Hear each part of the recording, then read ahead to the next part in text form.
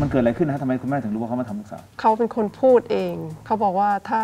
ยกให้อะก็จะรับเลี้ยงทั้งแม่ทั้งลูกไปตลอดชาติเขาว่าอย่างนี้แล้วเราไม่ยอมเขาก็ทำร้ายอีก เขาให้คุณแม่เหมือนออกอุบายให้คุณแม่ไปที่อื่นอย่างนี้แหละฮะเขาให้ไปซื้อของซื้อกับข้าวข้างนอก ก็ออกไปแล้วก็กลับมาก็ถามลูกว่าลุงเขาทำอะไรหรือเปล่า ลูกสาวเขาก็บอกจับนมแล้วก็จับหอยเขาแล้วก็เอาไอ้นั่นใส่ของเขาเขาก็บอกหมดอะลูกสาวอะแล้วลุงเขาก็ขู่บอกว่า อย่าไปบอกใคร อย่าไปบอกแม่นะเขาว่าอย่างนี้เขาขู่ลูกสาวด้วย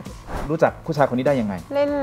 ไลน์เล่นเฟซกันค่ะเขาก็ทักมาแล้วเขาก็ไปหาที่บ้านอืม ชัยนาทค่ะ แล้วเขาก็อยู่ด้วยกัน แล้วก็ให้พี่หาเลี้ยงเขามาตลอดอยู่ไปอยู่มาเขาก็ประหลอกให้ขายที่ขายบ้านนะคะได้3ามแสนหกก็ซื้อรถกระบะให้คันหนึ่งแล้วก็ซื้อทองให้บาทหนึ่งค่ะ ฮะ แล้วก็อยู่ด้วยกันมาเรื่อยแล้วไปอยู่ไหนอะครับๆมาที่บ้านเขาเนี่ยค่ะสะเซิงเซาอะค่ะอ๋อคือคือย้ายมาอยู่กับเขาเลย ค่ะพอผลสุดท้ายเขาเล่นเฟซเล่นไลน์เขาก็ไปเจอผู้หญิงอีกคนค่ะ โทษนะครับ ตอนที่เขาไปติดผู้หญิงคือเขาไปอยู่กับผู้หญิงคนนั้นเลยเหรอฮะค่ะ ทิ้งไว้ที่วัดสะเซิงเซาเนี่ยค่ะ แล้วคุณแม่ก็อยู่กับลูก ใช่ค่ะ ก็อยู่กันแค่สองคน ค่ะ แต่พอเขากลับมากลับมาก็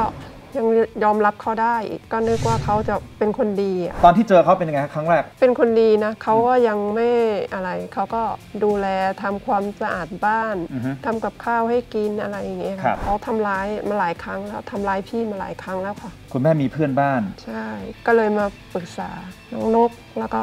น้องบีเขาเขาก็เลยพาไปแจ้งตำรวจแต่เรารู้รับรู้มาตลอด ใช่ค่ะ คุณนกเองก็รับรู้ใช่ค่ะเพราะอยู่ในละแวกใกล้เคียงกันค่ะ นายชัดตอนนี้นะครัฮะบอยู่ในอยู่ในการควบคุมของตำรวจแล้ว เขาให้การครับ ยังไงฮะสารภาพหรือปฏิเสธครับ หรือภาคเศษครับ เขาบอกขอไปให้ให้การกับศาลนะครับผมข้อหาอะไรครับที่จับกลุ่มตอนนี้ ในข้อหากระทำชำเราเด็กอายุไม่เกิน 13 ปี โดยเด็กยินยอมหรือไม่ก็ตาม โดยใช้กำลังวัตถุสลายนะครับ ซึ่งเป็นการกระทำแก่บุคคลซึ่งไม่สามารถป้องกันตนเองได้เนื่องมาจากเป็นผู้ทุพพลภาพหรือผู้ผิดบกพร่องครับ ในมุมของคนช่วยกลัวไหมไม่กลัว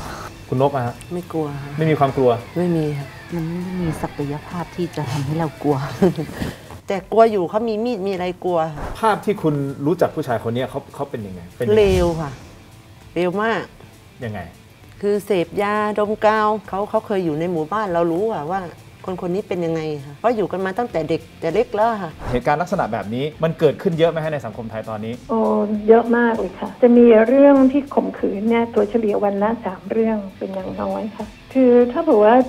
ในครอบครัวเนี่ยถูกล่วงละเมิดทางเพศเนี่ยอย่านิ่งเอาไว้เนี่ยอย่าทนนะคะ แล้วก็แจ้งตำรวจ แล้วก็มาแจ้งมูลนิธิปวีนาหรือมูลนิธิต่างๆ อย่ารอให้มันเนิ่นนานเป็นปีแล้วปีเล่าค่ะ